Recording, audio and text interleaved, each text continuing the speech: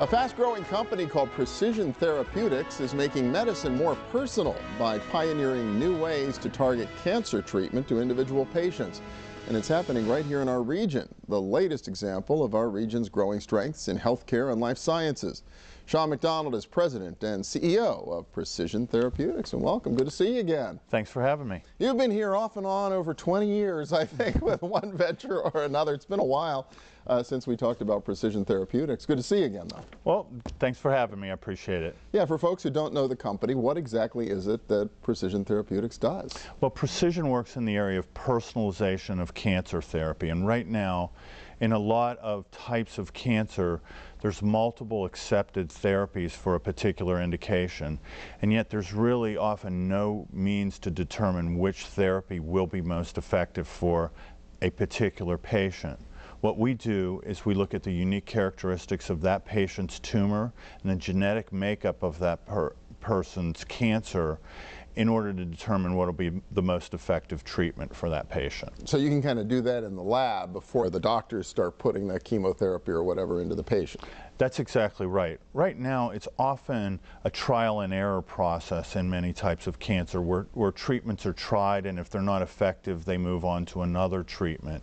And what we believe is that by looking at the tumor, um, that's just removed from the patient who's often newly diagnosed with cancer or has had a recurrence of the cancer, we're able to look at the tumor characteristics and thereby, thereby determine what's the most effective treatment of all of the available accepted treatments that the physician is considering. So you've been, the company's been around for around 15 years or so. You've been with them for, for eight or nine. Uh, right. You've got you've products on the market, real revenue coming in. So what, what's available right now in terms of? Well, right now we have a test that um, we receive a biopsy and we've received tests ordered from all 50 states at this point and actually uh, Europe and we're expanding into Europe and Asia right now. Early early moves into those markets. But we receive um, biopsies sent to us from all over the country and along with that a list of the uh, drugs that the physicians considering treating that particular patient with and we report back the results based on that particular patient's tumor characteristic what therapies are likely to be most effective. Now you've been at it for a while now, given the, the, how long the company's been around. There, does, it, does, it, work? Does it make a difference for the patients? Uh, uh, clinical data is very good, and we also have uh, we've shown uh, when uh, in gynecological cancers, when treating with uh, the test results that we provide, we can prolong survival over two times, and we also prolong the time with which someone will recur with the disease three times. So very significant results. Progress in cancer is incremental. We've got some very exciting clinical developments going on in the field of genetics where we expect to be able to move into lung cancer and breast cancer Uh, as well. And those are two much larger areas with much more compelling clinical needs wow. than the ones we're in right now. So the, yeah, the potential for this kind of treatment, this kind of technology, and this kind of company is, is big. We think that with the right kind of clinical work and with the right kind of technology applied to this problem, we have the opportunity to change how cancer is treated in a lot of segments. And that's obviously a very significant problem.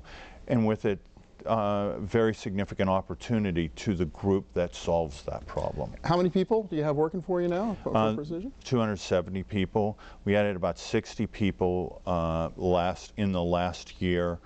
All but about 50 to 60 of those people are located in the Pittsburgh area, primarily on the south side but we're also opening a, another facility in Lawrenceville right now. Still adding people? Yes, we're still adding people.